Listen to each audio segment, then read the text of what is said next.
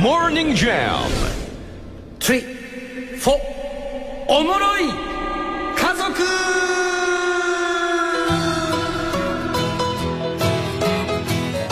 この時間は草と共に生きるオーレックと焼肉うどん味の町ウエストの提供でお送りします。さあ10時30分になるとモーニングジャムはおもろい家族面白い家族のメッセージ紹介しております。どうしましたか？ごめんなさい。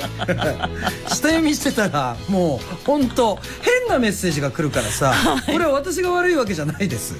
今週も大賞に輝いた方には「糸物語冬のおすすめセット6000円相当プレゼント」もともと糸物語という牛乳が美味しいのでその糸物語で作るね飲むヨーグルト飲むヨーグルトあまおう食べるヨーグルトプレーンミルクジャムあまおういちごソース。全部。最高です。最高。美味しいですよ。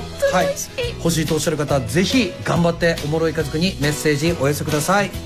じゃあね今日はそうだな。この時間はこちら男性の方からいただいたおもろい家族から紹介することにしましょう。中地やっちゃんおはようございます。おはようございます。10月になってだいぶ秋っぽくなってきましたね。そうですねそんな秋の気配を先取りするべく9月末いや宮崎の山奥に渓流釣りに行ってきました。新型コロナウイルスのことを考えてほとんど人が来ない川を選んで一人で出かけました9月いっぱいで渓流釣りは終了。春まで禁漁になるので最後にヤマメの顔を見たくって深夜に出発。5時間かけて到着。まだ薄暗い中早速この日のために買った新品のウェーダー。ウェーダーって分かりますかね、あの川にジャブジャブ入っていくの、ほら渓流釣りって川の中で、あのはい。釣りするじゃない、ええ。だからあのもう胸元ぐらいまでねあのビニール、はい。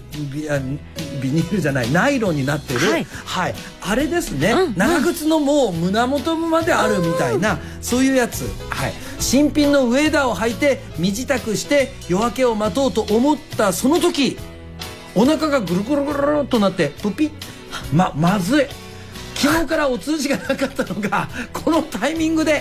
しかも直腸からのシグナルは緊急事態。どうする？どうする？軟弱な私はできれば野山ではやりたくない。トイレで出したい。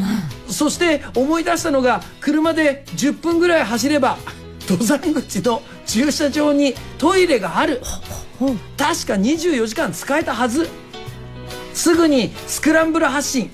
まだ夜が明けていない林道を飛ばしました。すぐに目的地に到着しティッシュを握りしめて体をのけぞらせながら。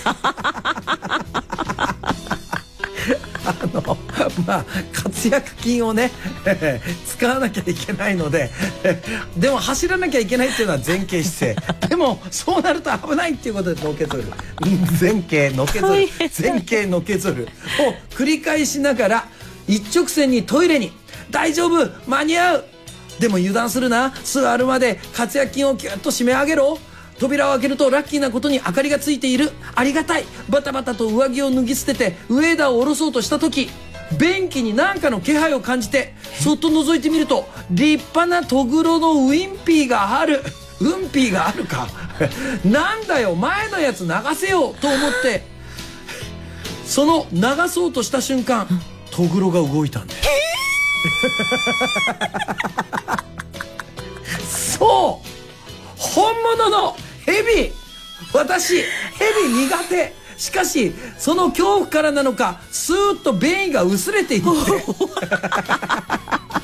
緊急事態宣言が解除されました。これはトグロと戦えという神の啓示なのか意を決して長い木の枝をも拾ってきて便器にそっと差し込むと奴は頭を上げてシャッシャッと臨戦態勢頼むから出て行ってくれプピ 必死に引きずり出してトイレの外に放り投げてミッション完了。やった！無理。これでゆっくり出すことが息を荒げてハイテンションのまま改めてウェーダーを脱ごうとしたらくっさ。何何？どうした？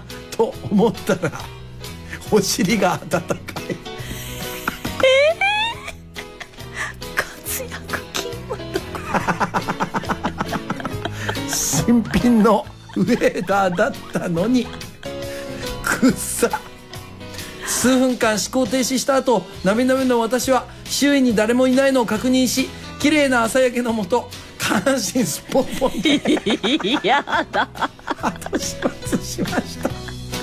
着替えのパンツもズボンも持って行ってなかったので裸の下半身にスポーツタオルを巻いて短パン代わりにしノーパンなのでたまに玉金が見え隠れしているもはや釣りをするどころか車から降りられないのでどこにも寄らずまっすぐ家に帰りました、往復10時間かけておもらししただけ。もう最悪の展開ですな。こう。なんということでし本物のヘビっていうところもすごいよね。ねいやもうなんてことだってことですよ。本当に。こんなことがあるんだっていう。すごいでしょ。まああのもう一つ短いやついきましょうかね。はい、あのもう一つ面白いのあったんですけれども、また次の機会にね、はい。えー短いものいきます。こちら女性の方ですね。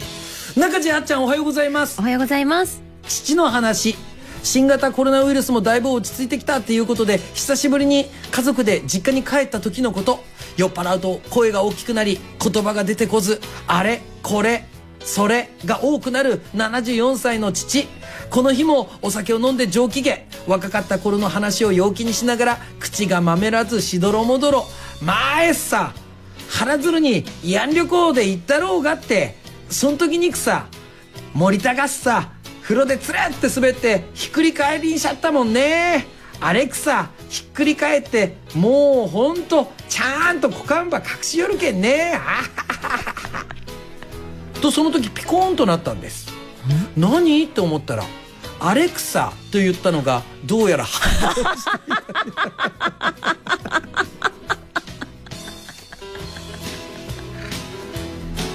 はい以上です。おもろい家族パート2はお昼12時からということではいえー、まあね最近またなんかすごい話が多いなって思うんですけれども、はい。新品のウェイダーいいですね。はい。以上おもろい家族のコーナーでした。